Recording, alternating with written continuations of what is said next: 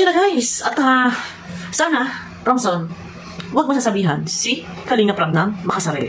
Wala kang pakialam. Ang pakialaman mo yung buhay mo, yung channel mo. Ha?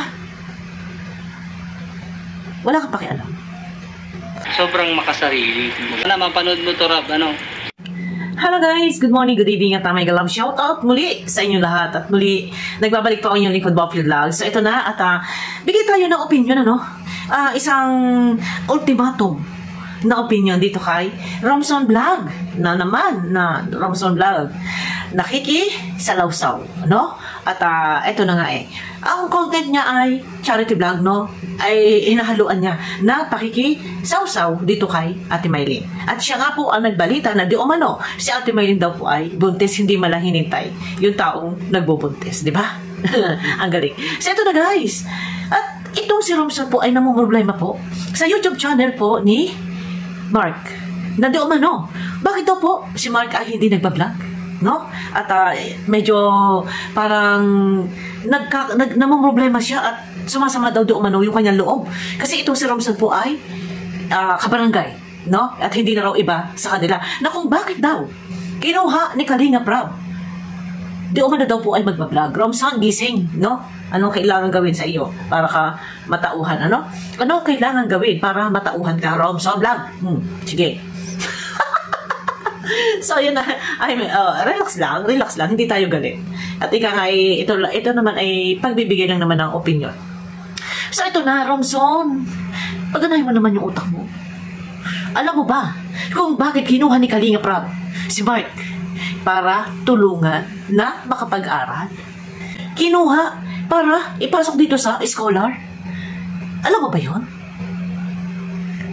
Wala ka sa ayos, Romson. Hindi kinuha si Mark para mag-vlog. Anong iba-vlog ni Mark? Sige, sabihin mo sa akin. Ano ang iba-vlog ni Mark?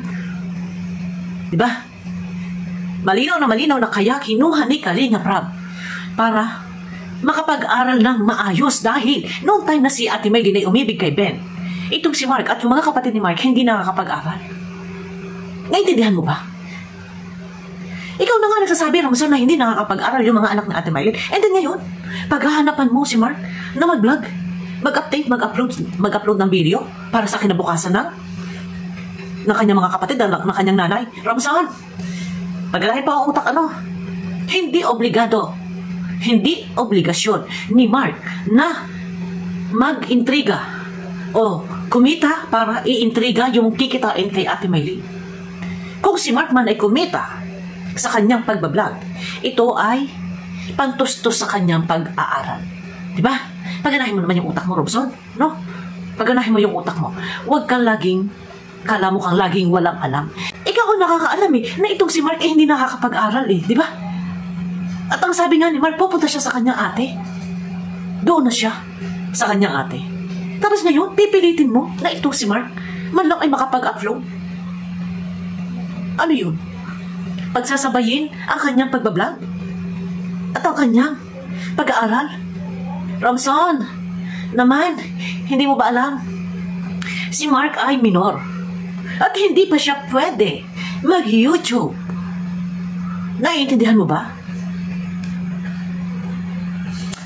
Kaya nga po eh, nung mamonetize na po si Mark, yung kanyang AdSense po, Romson, ay nakakunik muna pansamantala kay Kalinga Prab. Sa AdSense po ni Kalinga Prab. Dahil po, si Mark po ay minor. Huwag mo sasabihin, Romson ha, na yung ibang mga batang vlogger ay, ay nakakapag-vlog. Yun po ay nakapangalan sa magulang. Hindi pa pwedeng mag-vlog o maging YouTube partner program si Mark dahil minor de edad. Pwede siyang mag-vlog pero hindi nakapangalan sa kanya. Naintindihan mo ba? Naman, Robson, namomroblema ka. Sasabihin mo, ah, makasarili? Makasarili si Kalinga Prab? Dahil lang sa hindi nakakapag-update sa YouTube si Rob, si, si Mark?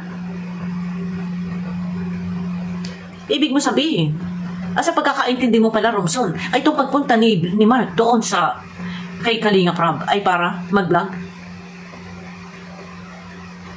Pumunta doon para mag-aral. Kailangan mag-focus sa pag-aaral. Mag-vlog man, ito ay hindi regular. Nakakapag-vlog pero hindi regular. Mas priority ang pag-aaral. At hindi mo, huwag mo sasabihin, Romson, no. Huwag mo sasabihin na para makatulong sa mga ma- sa mga kapatid, ando na tayo. Pero hindi po obligasyon niya ni Mark. Dahil si Mark ay minor de edad. Kailangan mo na ni Mark na magtrabaho. At kapag nakapagtrabaho na at meron na, pwede, pwede na makatulong. Meron ng ipon, pwede na makatulong sa, sa mga kapatid. Hindi obligasyon na isang minor de edad na kagaya ni Mark ang suportahan ang mga kapatid. Kung meron, meron. Ibang bigay. Kung wala, hindi niya obligado. Hindi niya obligasyon. Obligasyon niya ng ina. Ikaw, ang dami mong ngaw-ngaw. Pati yung asawa mo, ha? Mm. Sino ba? Sino ba vlogger sa inyo? Kayong dalawa? Vlogger. Kayo ba dalawa vlogger? Ha? At yung asawa mo na kahit wala sa camera, kuda na kuda. Nakatawa. yung asawa mo na wala naman sa camera, sumasabat, no? Ay, Diyos ko po. Ingay ng power chainsaw. Ano ba yun yung power chainsaw? Oo. May ingay ng power chainsaw. Ingay ng tilaok ng manok. Ingay pa ng asawa mo.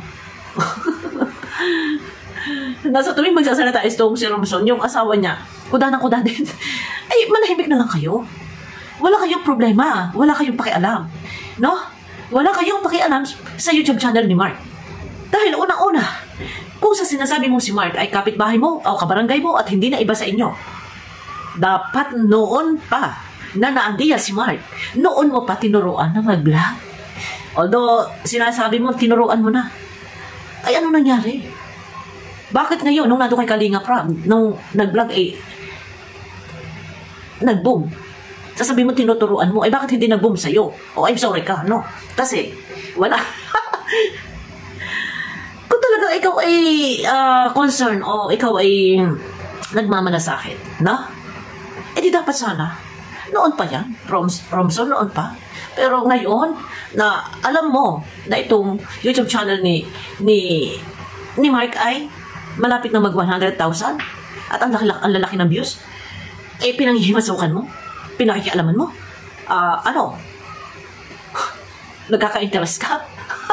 oh, hindi. Mga tanong ngayon na, nagkaka-interest ka ba? May question mark. Oh, oh nang nanghihimasok ka. Oh, tan mga tanong, tanong lang po iyon. Ay, kung tutusin wala kang pakialam. Okay, mag-upload. O hindi. Ang importante, nag-aaral si Mark at wala ka nang pakialam sa kanyang YouTube channel. Intindihin mo na lang yung YouTube channel mo. Huwag mo pakialaman ang kay Mark.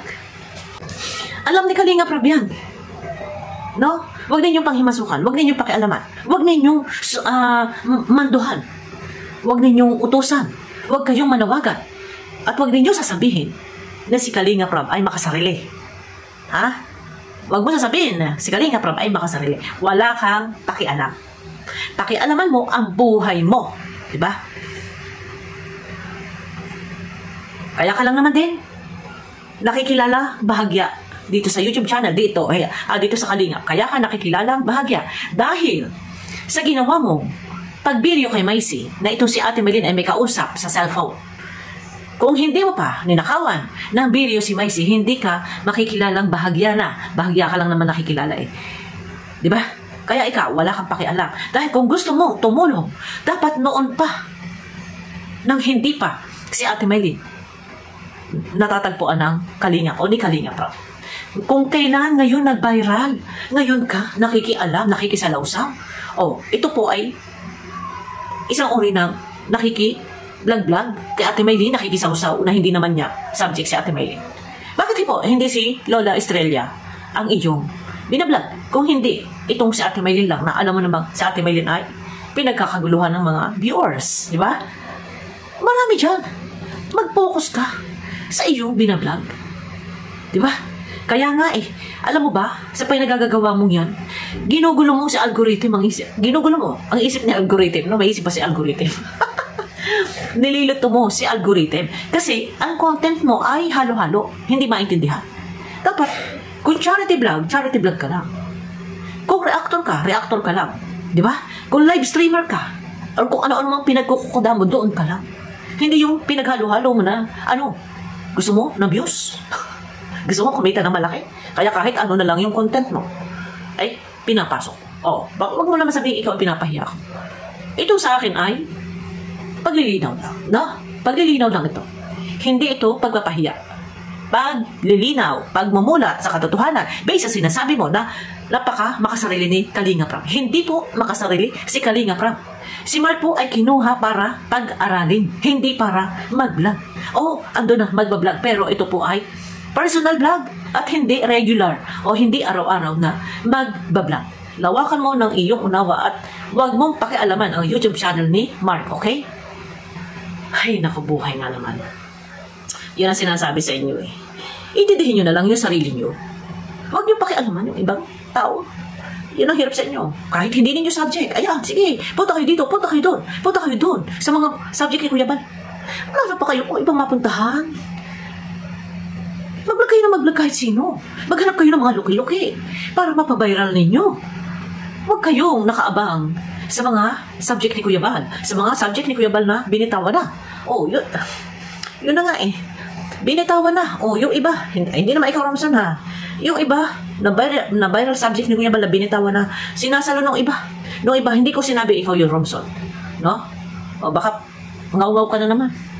Ingay na power chain, so ingay na tilaok ng manok, ingay pa yung may babae pang ngaw-ngaw ng ngaw-ngaw doon sa likod, nakakarindi, sa totoo lang. Pero hindi, hindi ako nanonood, nanonood sa kanyang YouTube channel. Meron lang kasi nagpapasa na screen record sa aming group chat. Ay nako, buhay nga naman. Pagka talagang, alam mo yung ganun eh, ah, kapit sa patalim. Di ba? Kahit ano na lang maikot ng charity vlog, reactor, reaction, ay nako, live stream. Pa, guguluhin niya ang ano eh, si algorithm eh. Hindi yata naiintindihan ito. Sa bagay, baguhan pa lang naman ito sa pagbablog ito si, si Romson eh. Hindi niya naiintindihan eh. So ngayon, ah kung ako sa'yo, ipagpatuloy mo na lang yung pagiging charity vlogger mo, no? Kasi ah, minsan napadaan ako sa iyong YouTube channel. So nakita ko, may mga upload ka na pagtulong. Ah, ikaw ay nagiging, ikaw ay nag-charity vlog. Gusto mo matungisan yung iyong pangalan. Masira yung iyong pagkatao. Gayong ang layunin mo sa YouTube channel mo is pagtulong.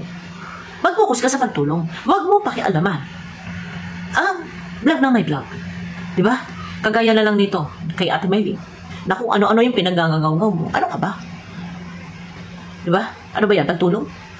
Charity vlog ba yung paggangaw mo? Patungkol kay Ate Melly na pagsisiwala. Na di umano sa Ate Melly ay buntis. Pinangunahan nyo pa yung nagbubuntis. Ba't mo alam na buntis? O, di ba? Kasi inu inuusisan nyo, tinatanong ninyo siguro. Siguro, ha? Inuusisan nyo siguro, o. Hindi ko naman sinabing inalam mo inusisa. Baka tinatanong ninyo. O, siguro, nagtatanong lang naman. Hay nako naman. So, yun na guys. At ah, sana, Romson, huwag mo sasabihan si Kalinga Prab ng makasarili. Wala kang pakialam. Ang pakialaman mo yung buhay mo, yung channel mo. Ha? Wala kang pakialam.